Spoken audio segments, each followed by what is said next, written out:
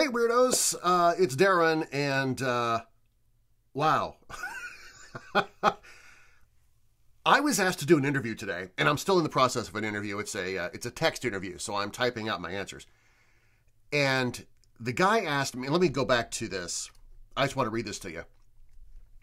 What is your response to accusations that you are a reptilian from the planet Sirius bent on deceiving the world into accepting reptile rule?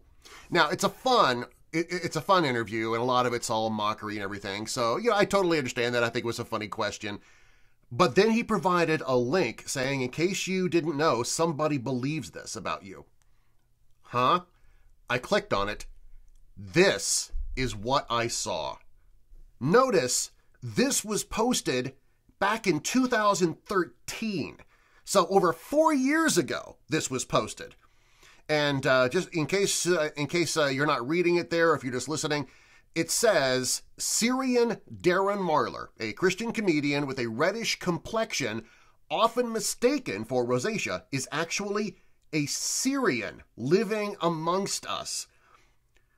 I have to. I, I'm going to have to go and figure out what the heck a Sirian is now, but I cannot believe I have come to this point in my career. In fact, I was at this point in my career four years ago where people started throwing out conspiracy theories about me. Wow. I don't know if I should be terrified or flattered. Uh, how, do, you reply to this? Of course, I could feel my face going red now. Uh, so essentially, it's just proving that I'm a Sirian, I guess. Um, I if you go to it's uh, truthcontrol.com and just do a search for my name, Darren Marlar, and there's like four different postings there about me, and one of them claims that actually I'm red all the time, but if you don't see the red, it's because I'm wearing makeup or something to to make me look white. Uh, wow, I can't believe people actually wa- listen to this stuff, actually believe this stuff. Um, looking at the, at this page, uh, uh, um, there is a race of beings on Sirius A. The humans there are called the K'tay. They are considered benevolent.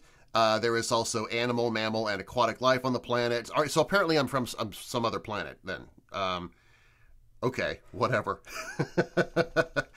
I'm looking forward to this interview now uh, to, to see how it comes out. But I, at first, I, I asked this guy, Did you create this page specifically for the interview? Because that's hilarious.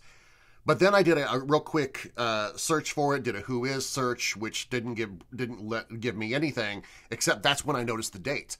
The dates all come from 2013. They were all posted four years ago. So probably it's I think it's just one guy, but still, for one guy to think this of me is just.